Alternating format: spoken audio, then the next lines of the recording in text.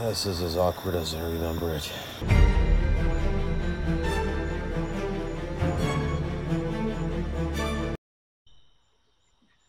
Hey everybody, tonight's video comes to us care of a comment from a viewer. We've arrived at a national park. We are miles from any other point of civilization. There is nowhere to go to get our equipment fixed. We don't know if the issue's with the laptop, with the cable, with the mount. All we know that the only way to control the mount is with the hand controller. So what I'm going to attempt tonight is to polar align my scope using just a hand controller, well enough to be able to do astrophotography. Now I know that I can align my wedge well enough to be able to do 15 second exposures because that is what I used to do with my uh, makeshift homemade wedge.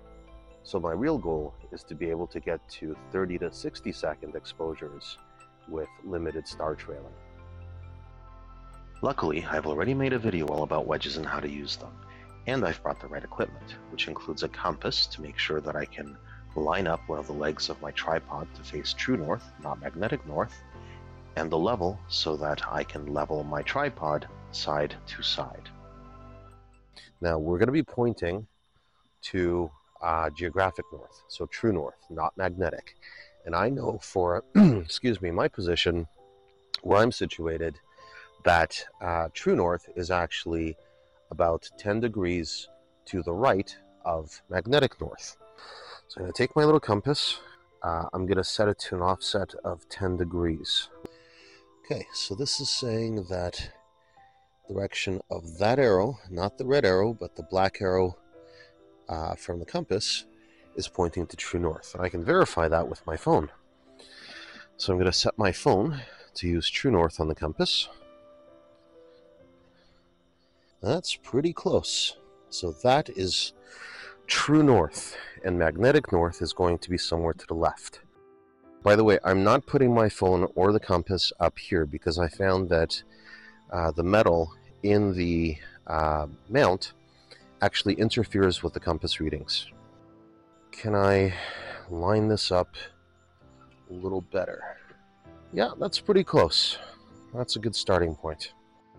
Step two, we need to level the mount.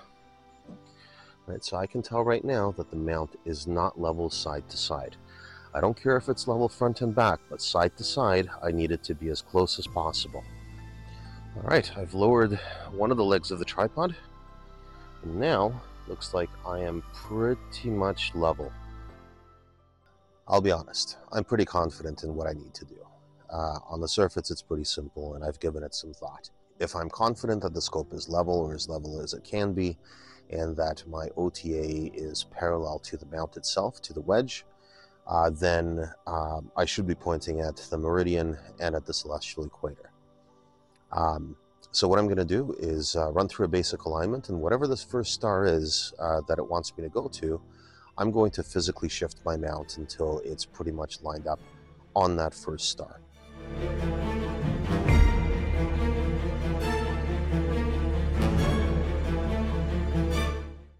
Looking back, the first warning sign was that I had to dig up the instructions on how to use the hand controller.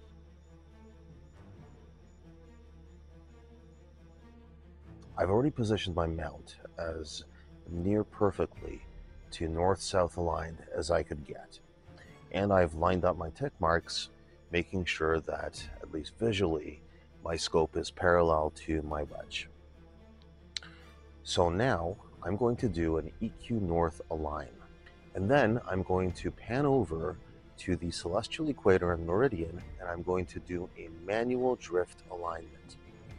So I'm going to watch for which direction stars are going to be trailing in as I take long-term exposures, and then I will be adjusting my azimuth, and then later on as I pan to the west, my altitude until the stars are no longer drifting.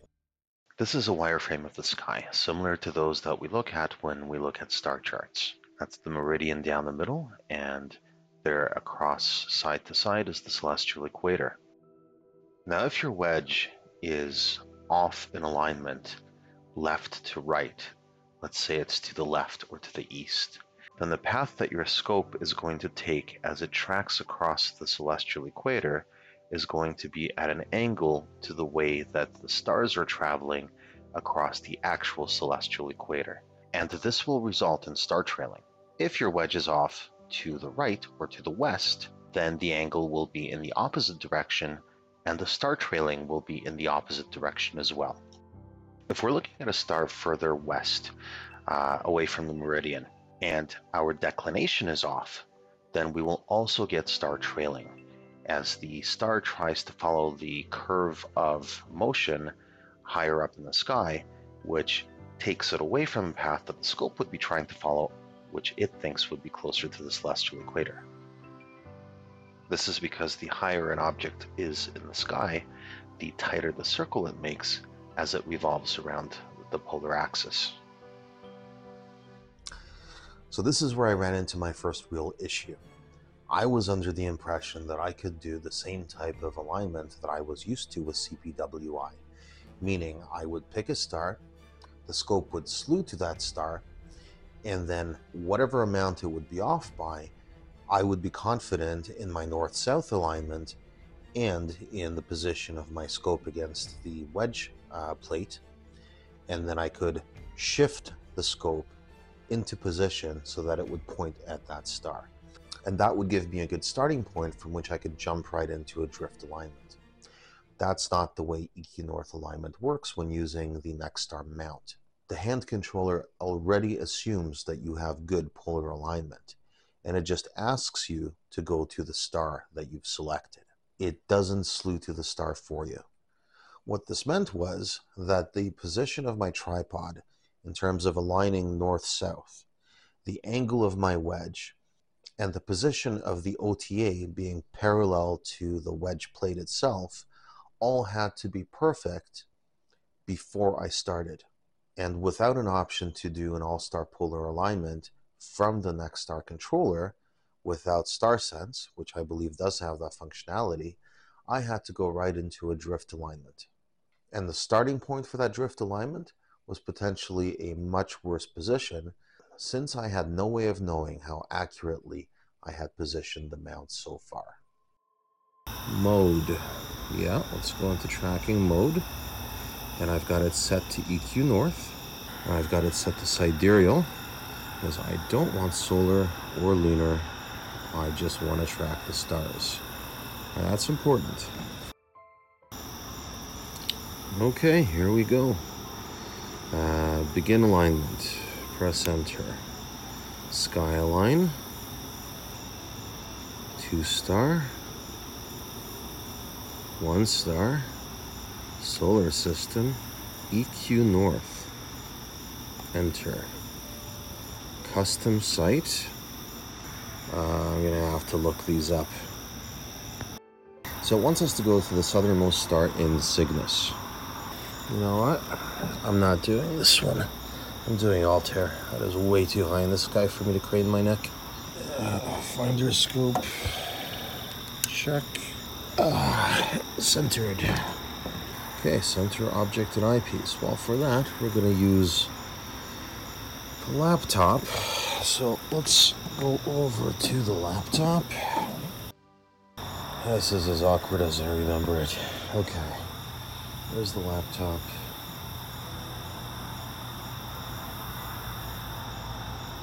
A little more.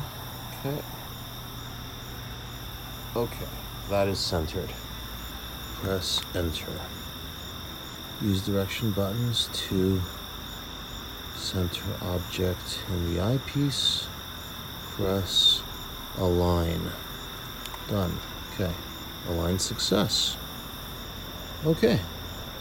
So in theory, we're aligned and that's it. We're tracking. Okay, as we can see here, uh, things have settled down. Pretty stable, at least, uh, at least to my eye, it looks stable. So I'm going to take a 30 second exposure and just see which way things are going. From this, I am trailing up and to the right, which means I have to turn this. Very important after every major adjustment to let the scope settle. This is just the backlash compensation. From here on out, it was a matter of making iterative adjustments with the scope pointing at the meridian and the celestial equator. I would take 30 second exposures and check which way the stars were trailing. I would then make small incremental updates to the azimuth, and then I would retake a 30 second exposure to see the impact on the star trails until they were gone and then I slewed the scope to the west along the celestial equator and repeated the process with declination. I would take 30 second exposures, I would check which way the stars would trail, and I would make small adjustments to the declination knob until the star trails were gone. When I was done, I resynced on Altair. So here is a 30 second exposure at the equator and the meridian and that looks pretty good to me. Alright, I think tonight uh, I'm going to try to image M15. Okay, let's see, Messier. Uh, 15.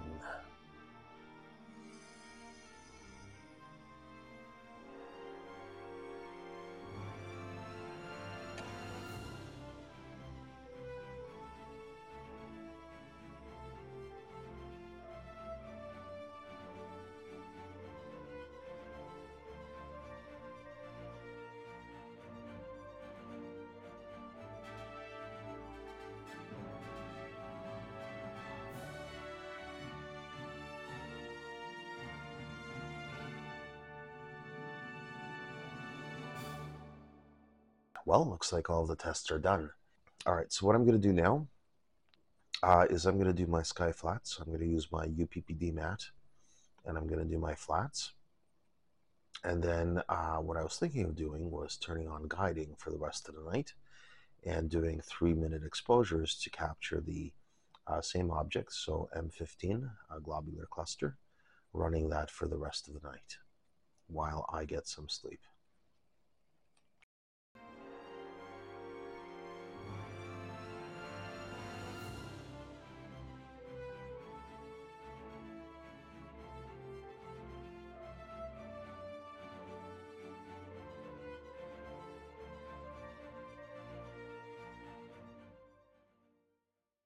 In the end, I ended up capturing three different sets of data. I captured 15 second exposures, 30 second exposures, and 60 second exposures. And I captured 20 minutes of each. And I did that in a plan that was staggered so that I would run 10 minutes of each and then another 10 minutes of each. So that way I had them all spaced out throughout the uh, capture session. Out of all of that, I was able to get 27 frames of 15 second exposures which amounts to just under 7 minutes worth of data. And I was able to get 14 frames of 30 second exposures, which is 7 minutes worth of data. So we're looking at about the same type of um, output of both. Now, because we're capturing a globular cluster, what's important here isn't any kind of nebulosity, but rather the sharpness of the stars themselves. So I was uh, very strict about which frames I kept and which ones I excluded. Um, had I been capturing a nebula, I may have been a little bit more lenient. Uh, I probably would have kept 50 60% of the frames uh, and not the 40% uh, or so that I ended up with. Of the 60 second exposures, I only had one useful frame. Periodically, uh, something within the gearing of the mount is going to cause my right ascension to shift every minute or so. So I cannot do any more than 30 seconds. I may be able to push it to 40, 45, depending on how cyclical the deviation is, but I definitely can't do 60 seconds. And that's a physical hard limitation with my mount personally.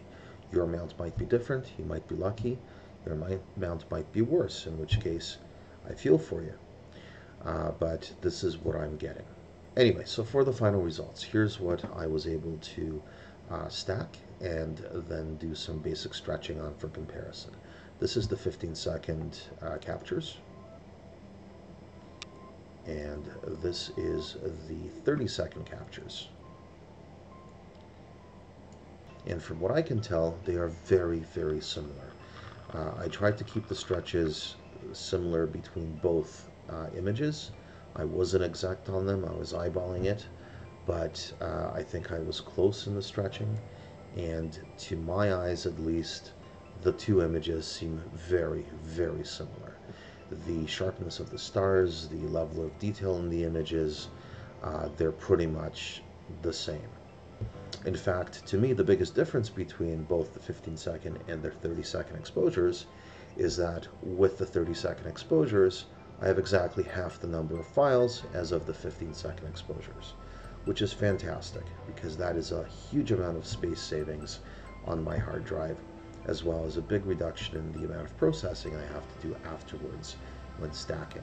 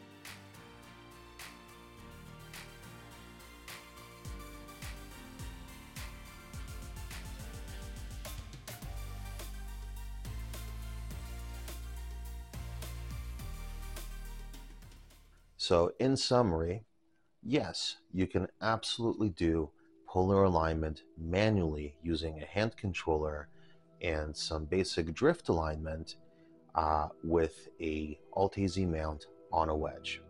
It is possible.